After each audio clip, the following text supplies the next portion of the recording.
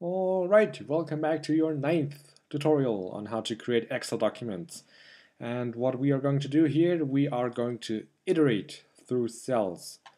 So um, I've took a little bit of time together and created an Excel document just with a bunch of names in there. You know, there's an uh, Clint Eastwood and some Brick, Brick Frederick, whoever that is, some numbers in there, and we are basically just going to iterate through all those cells and printing them out. So you can download that file if you want to in the description below or if you make that file for yourself make sure as you save it that it is an older version of Excel from 97 to 2004 because if you choose something like you know 2007 and newer version that's not going to work with our Apache library, but otherwise it will work just as fine. Alright, so for that I'm just going to create a new class. To keep it boring, I'm just going to call it Excel2. And as soon as we have that class, I'm going to import a couple of stuff. So the first thing we need to import is from the org Apache POI SS, no wait, HSSF user model package and it's called the HSSF workbook. The other thing we need to import is from the org Apache POI SS user model package and just go ahead and import everything in there because we're going to use a couple of stuff from there. You know, the workbook and the sheet, the cell, the row, all that kind of stuff so we know, don't need to copy paste that and change all the stuff. So another thing we need to import is from the java.util package and it's called the iterator.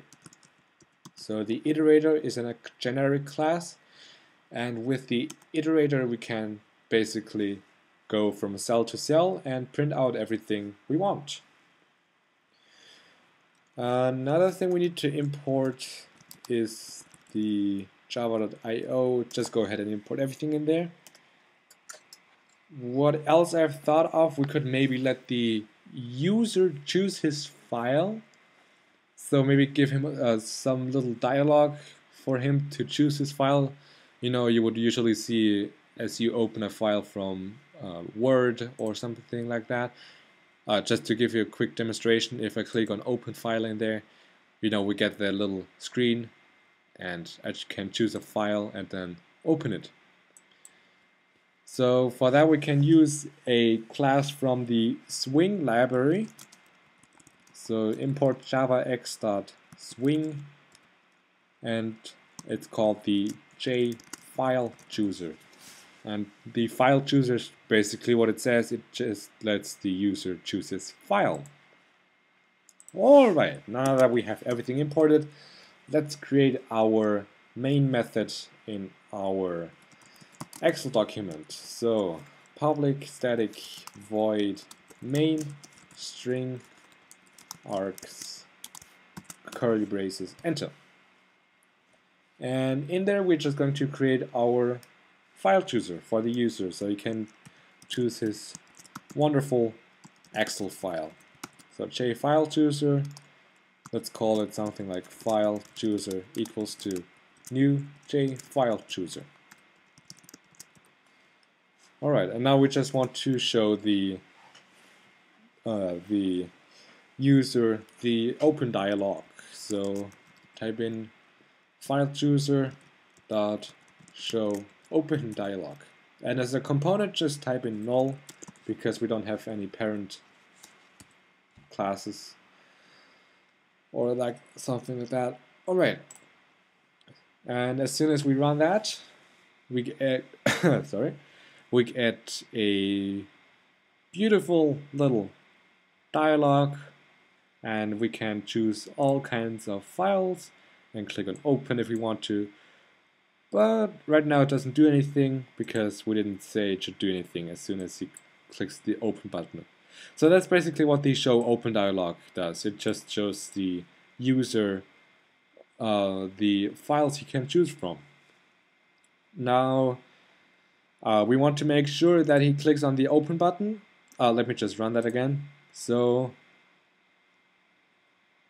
you know, uh, we get all those different buttons in there, or you can click on click on X. We can click on. Um, it, I forgot what that one's called. Uh, and we want to make sure that it clicks on that open button. So for that, we uh, the show open dialog method is actually going to return a an integer, which is going to tell us which button he pressed. So we have to create an integer, let's call it something like return value, and set it equal to file chooser dot show open dialog. And now we want to check if he clicked the open button. So let's create an if statement. If return value equals equals to j file chooser dot approve option. And the approve option is basically the open button you can see on screen. Alright, so what does the user want to see as soon as he, it hits the open button? Well, we have to create a new workbook.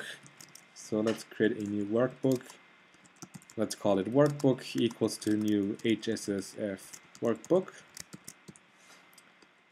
And of course we don't want to create a whole new blank workbook. We want to put the uh, the file I have already created into that workbook.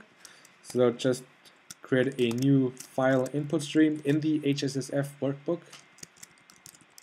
And as a parameter, it asks for a file. And of course, the user already chose his file from the JFileChooser panel. And from there, we can get the file he chose. From, uh, he chose. So type in file chooser dot get selected file. And this is somewhat dangerous to do, so we have to put it in a try catch block. Because, you know, he could either be opening a Word document or something else could happen that we don't want to happen. So from the file chooser, we can get the selected file and put it in the workbook. So now we want to iterate through each of those cells. Mm, but first, first we need to get the sheet. So let's call it sheet, and we need to get it from the workbook dot get sheet, get sheet at, and it's at parameter number zero. So it's the first sheet I created, and from there we want to iterate through all of those cells. So now we have to create a for loop and with the for loop we are going to read out each cells. So what do we want to iterate through? So first we have to create an object from the iterator and it's going to uh, we need uh, those kinds of brackets in there and let's put in row and let's call it something like RIT, which is basically short for RIT, uh, uh, row iterator. And let's uh, we have to set it equal to sheet dot row iterator. And we want to iterate through each of those rows as as long as the row has content. So as long as RIT dot has next.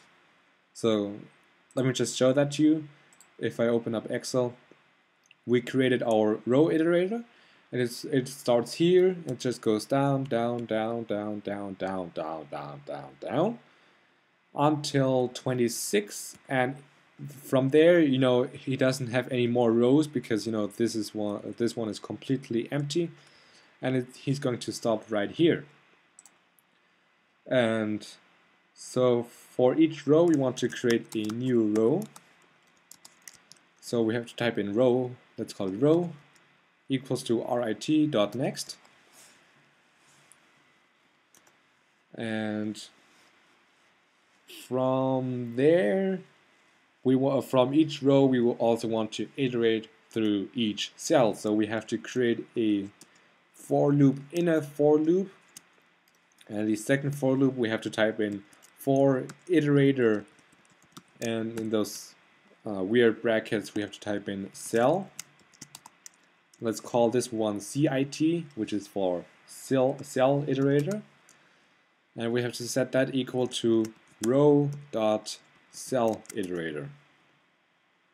So now it's going to iterate through each cell in the row. So let, let me just show that to you quickly. So it starts here with the row, and then it's going to go through cell, cell, cell. Okay, it doesn't have any more cells. Let's go to the second row. Let's read out that cell, cell, cell. Okay, no more cells left. Let's go to the next cell, uh, next row. And so that's basically what it's going to do. And of course we want to make sure that the cell iterator has next. Alright, so let's create a new cell in the second for loop. Let's call it cell equals to cit dot next. And uh, what we have to do here, we basically have to uh, print out. We, we basically want to print out the uh, cell. So uh, one thing to uh, note is that not every cell is the same uh, same style. You know, this one is a string, this one is a string, but this one is not a string, it's actually a number. So we have to make sure we convert that, otherwise it won't work. So we, let's just go ahead and convert those numbers to strings, and then we can go ahead and print out those. So let's just type in cell dot set cell type and now let's set the cell type to cell dot cell type string. And this is basically going to make a string out of every cell, even if, if it's a number. And now we can print it out. So just type in system dot out dot print, just print, and let's print out the cell dot get string cell value. And behind the get string cell value uh, let's just put in a little little tab. So there's some space in there. And after it iterated through the, all the cells in the row we want to create a new line so outside of the second for loop where we iterate through all of those cells we want to create a new line so I'll just type in the system out print line so let's run that. Hopefully we don't get any error messages. And then I have to choose my file, which is on the desktop. And I'll choose the names.xl. And as soon as I hit open, you can see it just printed out all the cells from uh, 20 from 1 to 26 zipper Laura. We have Mike Query, Nimbus to 1000, yeah, so that's basically how you iterate through all of those cells. Um, I guess that's basically it for this tutorial. You know how to iterate through all those cells now. You know how to make sure that every cell has a content in there. And this is, I guess, how I'm going to end up this ninth tutorial. Thank you for watching. Hope you enjoyed. If you have any questions left, make sure to ask those questions in the comment section below and I'll be happy to answer them. So see you soon again. Bye.